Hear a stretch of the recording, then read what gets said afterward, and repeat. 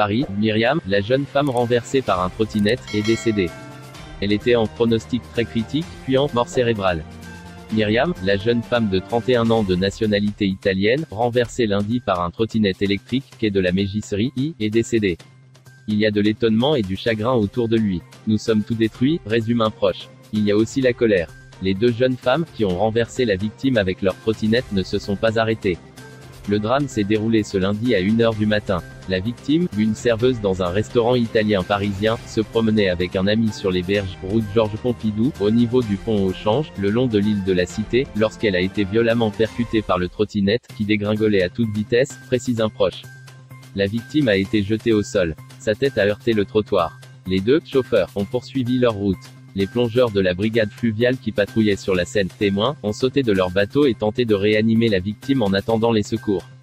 Myriam était en arrêt cardio-respiratoire. Bien que son cœur soit revenu après un massage de 30 minutes, elle a ensuite été transportée en urgence absolue, inconsciente, à l'hôpital de la Pitié-Salpêtrière, 13e siècle. Les médecins étaient très pessimistes, indique une source proche du dossier.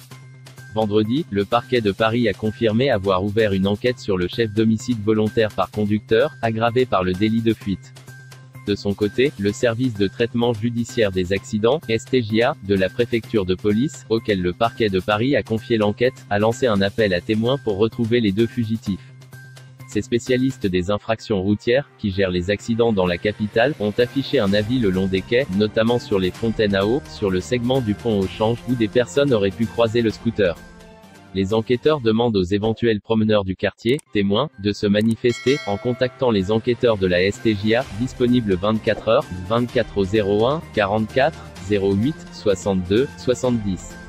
Les images de vidéosurveillance pourraient aussi apporter quelques éléments de réponse. Il y avait du monde sur les quais ce jour-là, espère une personne proche du dossier.